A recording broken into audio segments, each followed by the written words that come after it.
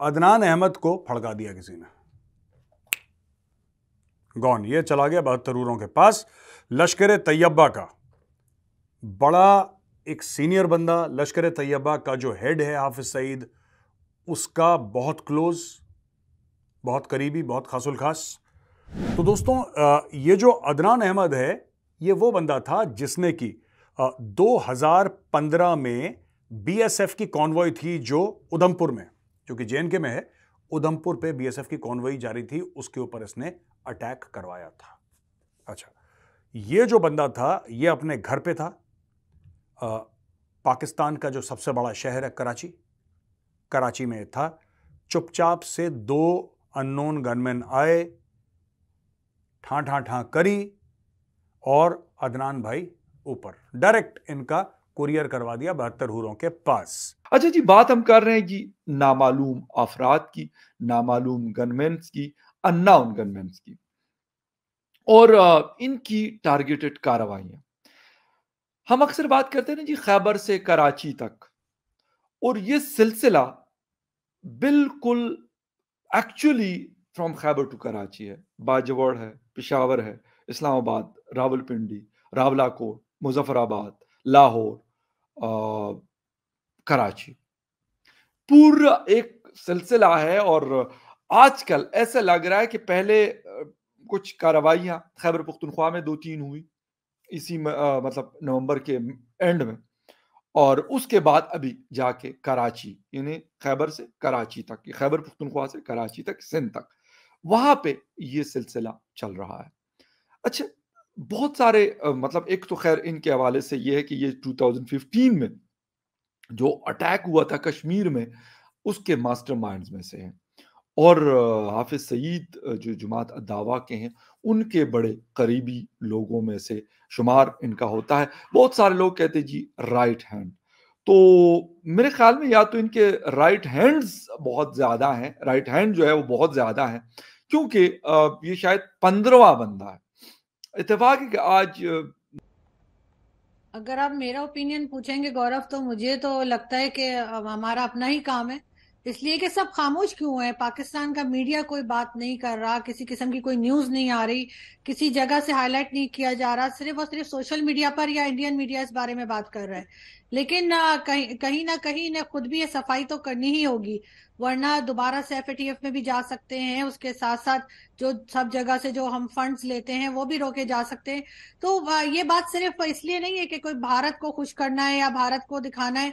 यकीनन ये बात चाइना की तरफ़ से भी की गई होगी क्योंकि चाइना में भी आपने देखा कि कई चाइनीज़ इंजीनियर जो हैं वो मारे जा चुके हैं पाकिस्तान में। और चाइना भी इस बात नाराज़ है और अगर इन्हें सी पैक दोबारा शुरू करना है तो इस तरह के लोगों को मारना होगा। लेकिन बात सारी ये है कि ये ऊपर के लोगों को तो मार रहे हैं, लेकिन वो जो जड़ों में बैठे हैं, जिन्होंने इन्हें बनाया, उनका क्या है? उनका कोई कोई हिसाब किताब नहीं है, उनका कोई नाम नहीं ले रहा।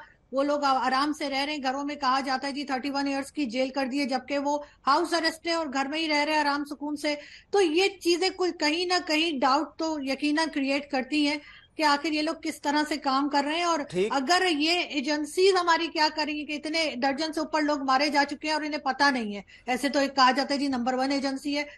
जय हिंद दोस्तों आप समझ तो गए होंगे कि पाकिस्तान में एक और छब्बीस उरों के पास छब्बीस नहीं बहत्तर उरों के पास पहुँच गया है जो अभी तक इनमें बहत्तर उरों में पहुँचने वाले हैं जो कि भारत में वांटेड आतंकवादी थे उनमें लगभग लगभग बीस के करीब लोग हो चुके हैं और ये एक सिलसिला एक साल से लगातार चलता आ रहा है।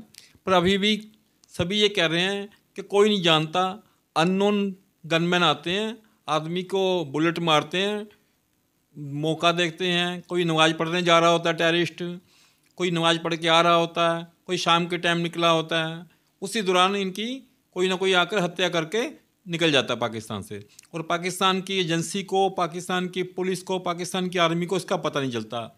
ऐसी बात नहीं है दोस्तों, कि उनको पता ना हो। क्योंकि जो ये लोग मारे जा रहे हैं, ये भारत में नो डाउट वांटेड थे।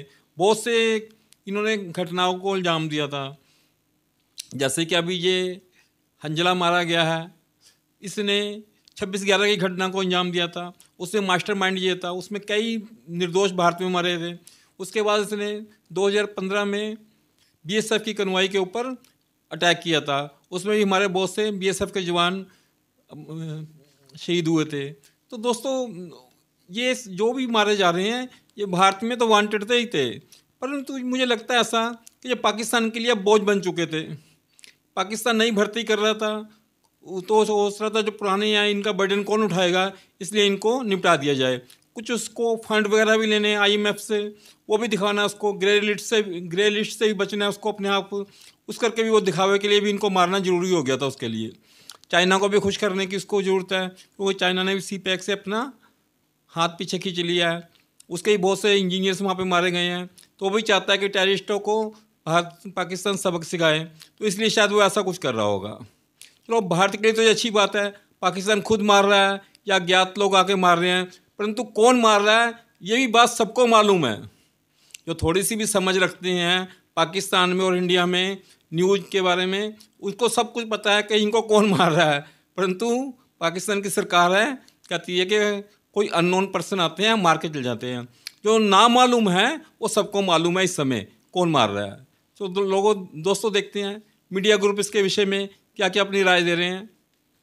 का भी काफ़ी करीबी रहा है। और मैं आपको बता दूँ कि जो भारत में फॉरेन टेररिस्ट भेजने का काम था वो भी इसी का था आ, क्योंकि आतंकी हमले ये करवाता था। फॉरेन टेररिस्टों को भेजा था मुजाहिदीनों के साथ इसका पूरा आ, जो है वो ताल्लुकात थे। आपको बता दें कि पोम्पोर हमला जो है उसमें भी जो लोग जवान शहीद हुए थे उसके पीछे भी यही शख्स जो था वो उस, उसका पूरा मास्टर था। तो इस तरह जो है आज इसकी हत्या कर दी। हालाँकि यहाँ पर अभी ये जानकारी नहीं मिल पाई है कि किन लोगों ने मारा है कौन लोग थे और क्या वजह रही है। लेकिन ये कंफर्म हो चुका है कि हंजला की जो है वो वहाँ मृत्यु हो चुकी है। कराची में हुआ है कुछ ही देर पहले जो है अज्ञात हमलावरों ने गोली मारकर इसकी हत्या कर दी। मैं आपको बता दूँ कि भारत में जितनी भी आतंकी घटनाएँ हो रही थी उसमें कहीं ना कहीं इसका हाथ होता था और फॉरन टेररिस्ट भेजने का इसका काम था। और पीछे भी जनवरी में जब जी मीडिया नेटवर्क ने खुलासा किया था उसमें भी हंजला का नाम आया था कि 24 के मुजाहिदीन जो हैं अफगान मुजाहिदीन वो भेजने की तैयारी में है और यहाँ पर हमला करेगा। उसके बाद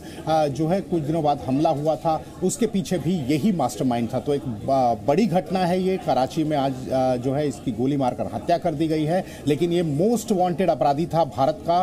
भारत को इसकी तलाश थी और ये जितने भी यहाँ पर जो है फौज पर हमले होते थे या फिर सीआरपीएफ पे हमले होते थे, उसके पीछे मास्टरमाइंड यही रहता था और बहुत बड़ी साजिश भी ये अभी रच रहा था।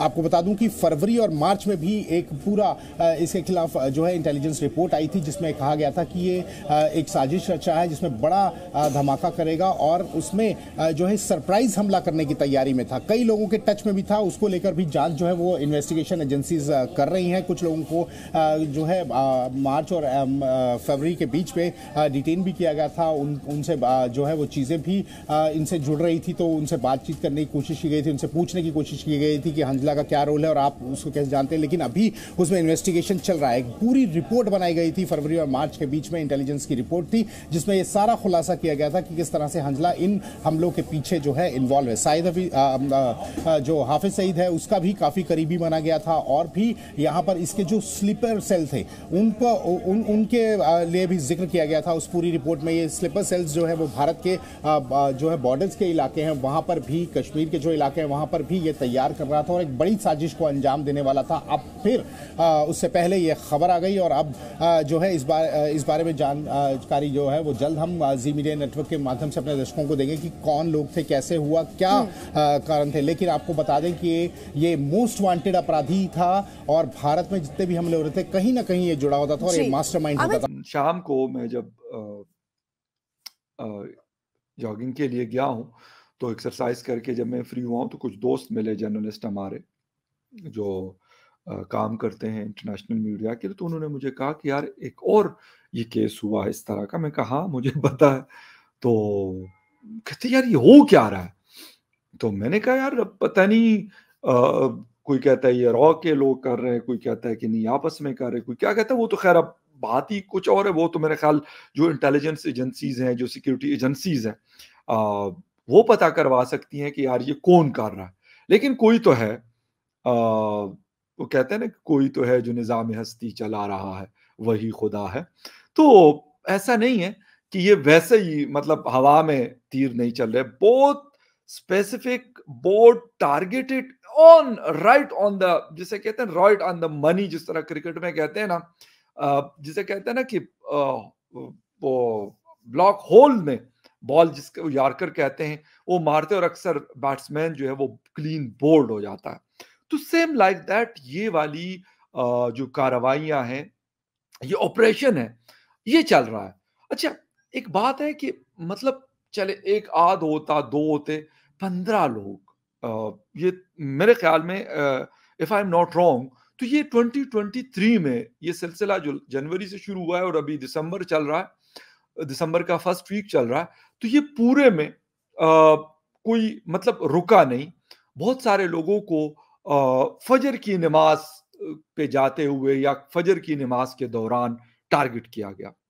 मोस्टली लोग ऐसे आ, मतलब टारगेट हुए। अच्छा कोई रात के टाइम शाम मतलब जिसको कहते हैं या रात के टाइम टारगेट हुआ। अच्छा अब ये वाला आ, ऐसा लग रहा है कि अगर हम एक बात देखें तो आजकल हिंदुस्तान से जो पाकिस्तान के ऊपर एक वो आता था कि भाई टेररिज्म है ये है वो है वो चीज़ें कुछ खामोशी सी चाई हुई है। अब मुझे नहीं पता कि इसके क्या रीजंस हैं। डॉक्टर जयशंकर जी उनके जो आ, वो हैं फॉरेन मिनिस्टर हैं एक्सटर्नल अफेयर्स के मिनिस्टर हैं वो इस पे बड़ा हम उनको सुना करते थे। लेकिन आजकल इस हवाले से उनकी कोई बात नहीं है। मतलब इस बाकी तो बातें करते होंगे, लेकिन स्पेसिफिक पाकिस्तान के हवाले से कोई बात उनकी तरफ़ से नहीं आ रही, कोई बयान स्टेटमेंट नहीं आ रहा। अजीत डोल जी है, या अमित शाह साहब डिफेंस मिनिस्टर है, कोई ना कोई राजनाथ सिंह जी है कोई ना कोई बात उनकी तरफ़ से आती थी। लेकिन जब से ये सिलसिला तेज हुआ है तो ये वाले बयान भी नहीं आ रहे। अच्छा अब गवर्नमेंट ऑफ़ पाकिस्तान भी इन इंसिडेंट्स के ऊपर कोई कोई क्लैरिटी नहीं है। मतलब पंद्रह लोग चले गए लेकिन अभी तक कोई आ, ऐसा नहीं है कि हाँ लोग कहें आ, हमने शा, शायद उनको जान अचकजई को जो इंटीरियर मिनिस्टर बलूचिस्तान है उन्होंने ये बात की थी और एक और किसी को मैंने सुना था कि जी रॉ की कार्रवाइयाँ जारी है। अच्छा जी अगर इतनी ऑर्गेनाइज किस्म की चीज़ें करवाना किसी भी कंट्री में। मैं कहता हूँ, अफ़गानिस्तान के अंदर बहुत इंसर्जेंसी रही है। वहाँ पे भी आसान नहीं होता। पाकिस्तान, जो भी हम कहें, पाकिस्तान एक सेटल्ड मुल्क है। पाकिस्तान की बहुत सारे इदारे ऑपरेट करते हैं। मतलब पाकिस्तान आर्मी है, फिर इंटेलिजेंस के बहुत सारे इदारे मौजूद हैं। ये कैसे हो सकता है कि यार, वो बिल्कुल कानो कान उनको खबर नहीं हो रही? और ये ये लोग तो मुझे ये कम अज कम पता है कि इन लोगों को तो वो जानते हैं। हमारी इंटेलिजेंस एजेंसीज में ये नहीं आ, मेरे ख्याल नहीं है कि वो ना जानते हो। वो हाफिज सईद के इर्द गिर्द के लोग हों मौलाना अजहर के इर्द गिर्द के लोग हों या फिर कुछ और लोग हों कि ऐसा पॉसिबल नहीं है कि वो ना जानते हो। हाँ हो सकता है ये एक चीज़ मैं कह सकता हूँ कि शायद उनका इस्तेमाल जो पहले होता था अब शायद वो नहीं है। लेकिन ये वाली चीज़ के उनके हवाले से अगर उनके पास कोई पूरी रिपोर्ट नहीं होती, ये मेरा ख्याल है बड़ा मुश्किल होगा कि मैं कहूँ कि नहीं, ऐसा नहीं हो सकता। क्योंकि इंटेलिजेंस एजेंसीज या इदारे जो भी होते हैं, वो मुख्तलिफ़ जगहों पे लोकल से लेके और फिर नेशनल लेवल तक और फिर इंटरनेशनल लेवल तक बड़ी वो कर रहे होते हैं चीज़ों को बड़ा मोनिटर कर रहे होते हैं। ऐसा नहीं कि वैसे ही छोड़ दिया उन्होंने। लोग कहते जी उन्होंने इस्तेमाल किया कश्मीर में। सो किया। तो अब अगर वो होंगे तो उनके ऊपर उनकी कोई नज़र नहीं होगी। मेरा नहीं ख्याल ये आ, शायद कोई भी मैं पाकिस्तान की बात नहीं कर रहा। ओवरऑल है तो ये नामालूम अफराद कौन है आरज़ू काजमी? और आखिर क्यों? एक के बाद एक 20 से ज़्यादा इंडिया मोस्ट वांटेड आतंकवादियों की पाकिस्तान में हत्याएँ हो रही हैं पिछले करीब एक डेढ़ साल से। लेकिन गौरव जो भी टारगेट किए जा रहे हैं, कहीं ना कहीं उनका लिंक जो है वो भारत से तो वैसे भी जुड़ी जाता है। लेकिन जैसा मैंने पहले कहा कि चाइना की तरफ़ से भी काफ़ी प्रेशर है पाकिस्तान के ऊपर। और इसी वजह से सी पैक भी वो दोबारा स्टार्ट नहीं कर रहे कि जब तक इस किस्म के लोगों का सफाया नहीं होगा, जब तक वो शुरू नहीं करेंगे, उनके कई लोग यहाँ पर मारे जा चुके हैं। लेकिन बात सारी यही है कि खुद ही सफ़ाई करनी पड़ेगी, कोई नहीं आ सकता जो आप लोग जैसे बात कर रहे हैं कि कोई भारत से आके इस किस्म के ऑपरेशन करके चला जाता है तो इतना आसान नहीं है। और ना ही किसी को पता लग सकता है कि ये लोग कहाँ रहते हैं और किस तरह की प्रोटेक्शन इनको दी गई थी। लेकिन पाकिस्तान अगर खुद चाहे तो ज़रूर इनका सफाया कर सकता है और इस वक्त लग यही रहा है कि पाकिस्तान की तरफ़ से ही ऐसा किया जा रहा है। लेकिन ये और पाकिस्तान खुद ऐसा कर सकता था तो पहले वो तहरीके तालिबान पाकिस्तान के आतंकवादियों को मारता वो आतंकवादी जो पाकिस्तान की सेना के बच्चों को मार देते आर्मी पब्लिक स्कूल पेशावर में या फिर वो जो पाकिस्तान की सेना को अभी मार रहे हैं सुशांत सरीन उनको तो पाकिस्तान मारता नहीं उनके साथ तो डील कर करके उनको भेज देता है बाहर तो ये कुछ एडअप हो रहा है क्या सुशांत सरीन यार, देखो गौरव, ये बात आपकी बिल्कुल और सवाल बिल्कुल दुरुस्त है कि सब कुछ एडअप तो नहीं हो रहा। लेकिन जब ये ये जो टर्म है ना, नामालूम अफराद ने मारा है तो इसका, ये जो नामालूम है, ये एक तरीके का एक यूफिमिज्म है या आप समझिए एक इशारा है कि सबको मालूम है कि किसने मारा है। ठीक है ना? तो ये नामालूम सिर्फ़ फौज और उसके जो कारिंदे हैं उनके लिए इस्तेमाल होता है पाकिस्तान में क्योंकि उस, उनका नाम ओपनली नहीं लिया जा सकता। और और अगर अगर, अगर वो अभी तक किसी के ऊपर हाथ ही नहीं डाल सके कोई अप्रोड नहीं हुआ जैसे आरज़ू भी बोल रही हैं कि अच्छा, आरज़ू मैं सुशांत में एक मिनट आपका ऑडियो लिंक बिल्कुल अभी परफेक्ट दुरुस्त कराता हूँ लेकिन आरज़ू कहीं ऐसा तो नहीं कि पाकिस्तान की सेना उन आतंकवादियों को मार रही है जो पाकिस्तान की सेना के लिए ही या आईएसआई के लिए ही अब खतरनाक होते जा रहे हैं, या फिर जो एफएटीएफ की निगाहों में आ गए हैं, अब एक नई फौज क्रिएट होगी आतंकवादियों की जो असल में नामालूम अफराद है। हो सकता है क्रिएट हो भी चुकी हो और इसी वजह से रिप्लेस किया जा रहा हो इनको। लेकिन अगर आप बाकी लोगों का जो नाम ले रहे थे कि उनको क्यों अटैक नहीं किया गया तो ज़ाहिर उनकी भी हो सकता है बारी आ जाए एक एक करके। लेकिन ऐसा नहीं है कि सबके सबको मार दिया जाएगा। कुछ को तो रखा जाएगा ना आगे काम करने के लिए। क्योंकि कहीं ना कहीं इनको ज़रूरत पड़ती है इस तरह के लोगों की। और आप ये नहीं कह सकते कि सिरे से इनका सफाया हो जाएगा। हाँ सामने सामने से हटा देंगे और उसके बाद यही होगा कि भारत के साथ भी टर्म्स बेहतर हो जाएँगे चाइना के साथ भी और एफएटीएफ में जाने का खतरा भी टल जाएगा। लेकिन अगर आप ये कहें कि जी, जड़ से इनको खड़ दिया जाएगा तो ऐसा कभी नहीं होगा। और इतने सालों से जो लोगों को बनाया गया है, रखा गया है, यहाँ पे बहुत से लोग, मैंने पहले भी कई बार आपके शो में कहा गौरव के बहुत से लोगों का माइंडसेट अब ये बन चुका है।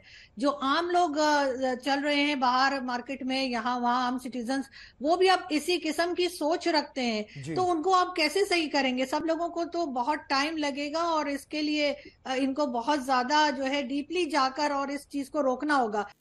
चलिए दोस्तों कोई भी मारे अच्छी बात है। भारत का दुश्मन खत्म होना चाहिए। दुनिया में कहीं भी वो रहे कोई फ़र्क नहीं पड़ता। अननोन गनमैन में मार रहे हैं या कोई एजेंसी के लोग मार रहे हैं या पाकिस्तानी आर्मी खुद मार रही है? मार रही हैं ना? अच्छी बात है, चलो अच्छी बात है। भारत के दुश्मन खत्म होने ही चाहिए। मिलते हैं दोस्तों अगली वीडियो में। तब तक के लिए नमस्कार। दोस्तों प्लीज़ मेरी वीडियो को लाइक और सब्सक्राइब ज़रूर कीजिएगा। बहुत बहुत धन्यवाद आपका।